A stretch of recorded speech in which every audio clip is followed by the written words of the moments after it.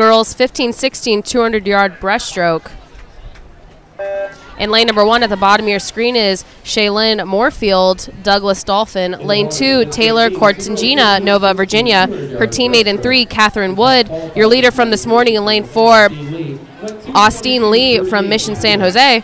Lane 5, Heidi Poppy, unattached. Lane 6, Cindy Ard, Chico Aquajets. Lane 7, Maddie Pendleton, Reno Aquatic, and her teammate in lane number 8, Anika Perry. A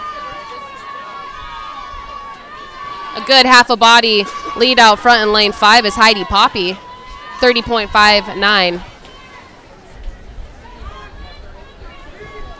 This morning, Austin Lee was your preliminary leader, 222.38. Less than a second behind her was Poppy, who is currently out front with a 223.20.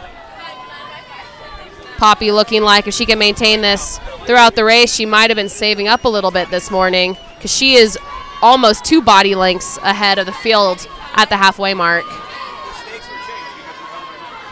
Woo wee, out in 104.48 there. That's going to be well below a 222 that she was in prelims this morning. Yeah, she definitely was saving up. We saw those 17, 18 year old girls prior. They were out in a 105, I believe, and were 218. So if she can bring it back, she's going to be well under her 223 this morning. Still looking really strong at this 150 mark. Nothing but open water all around your leader, Austin Lee. And so powerful on the front end of that stroke, really winding up, taking advantage of every inch of kick there. 50 yards to go. She is way out in front. Correction, Garrett, that's Heidi Poppy. Oh, I apologize. In lane five out in front. Austin Lee back there in lane number four, sitting in second at this point in the game. But given given Leah a run for her money up there in lane seven is Pendleton. Good race going on for second place, but your champion this year by by far is going to be Heidi Poppy. Still lengthening out that stroke. She's going to possibly be under 215 here.